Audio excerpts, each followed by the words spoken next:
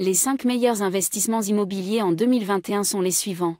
1. Les logements étudiants, car la demande est toujours croissante et les loyers sont généralement élevés. 2. Les immeubles de bureaux transformés en espaces de coworking, répondant à la tendance du télétravail et offrant une solution flexible aux entreprises. 3. L'immobilier locatif dans des zones dynamiques, où l'emploi et la population sont en pleine croissance, garantissant une demande soutenue et une valorisation du bien. 4. L'investissement dans la pierre papier au travers des SCPI, Sociétés civiles de placement immobilier, permettant de diversifier son portefeuille et de recevoir des revenus réguliers sans avoir à gérer directement les biens. Et enfin, 5 les résidences secondaires situées dans des zones touristiques attractives, comme les stations balnéaires ou montagnardes, qui bénéficient d'une demande saisonnière élevée pour la location.